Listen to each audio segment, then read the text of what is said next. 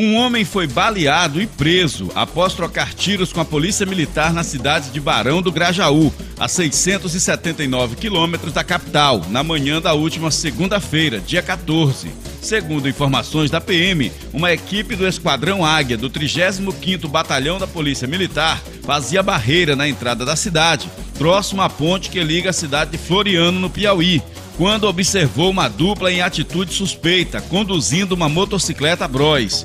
Ao tentar abordar os suspeitos, o piloto da moto furou a barreira policial e saiu empreendendo fuga em alta velocidade.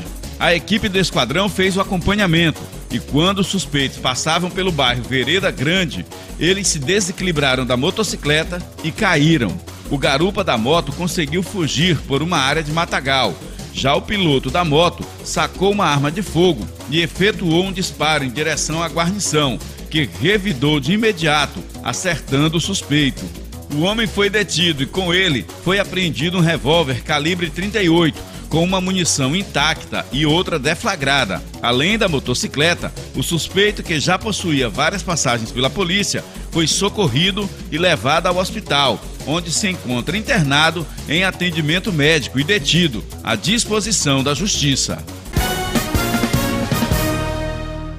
Um policial foi morto após reagir a um assalto dentro de um ônibus na noite desta terça-feira na Avenida Jerônimo de Albuquerque, no bairro Vinhais, em São Luís. O coletivo fazia a linha do bairro São Raimundo Bandeira Tribuse. De acordo com as informações preliminares, o ônibus seguia no sentido viaduto da Coama quando foi anunciado o assalto. O policial, que era lotado no gabinete militar da Assembleia Legislativa do Maranhão, reagiu e foi baleado. A vítima não resistiu aos ferimentos e morreu. Os criminosos fugiram após o crime.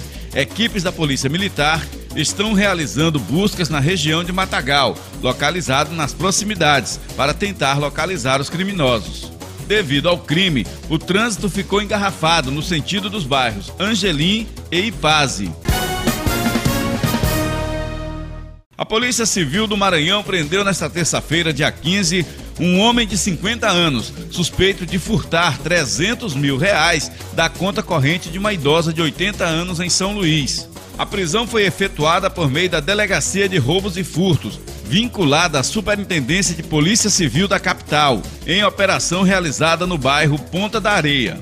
O crime se deu nos anos de 2020 e 2021, quando o homem se aproximou da idosa e furtou seu cartão bancário com senha foram realizadas diversas operações bancárias com a subtração total de 300 mil reais. O suspeito ostentava padrão de vida incompatível com seus rendimentos lícitos. Ele morava em um prédio de alto padrão na Ponta da Areia e andava em um carro de luxo. A polícia ainda cumpriu mandado de busca e apreensão, que resultou na coleta de provas relacionadas ao fato criminoso.